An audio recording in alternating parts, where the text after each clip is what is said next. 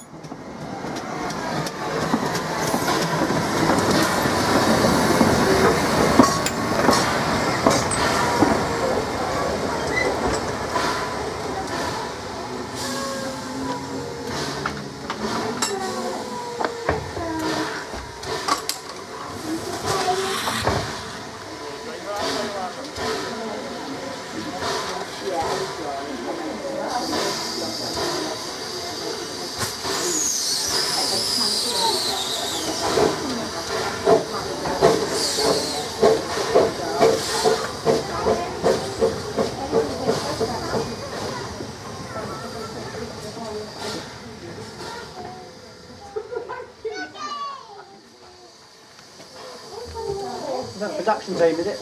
Yep.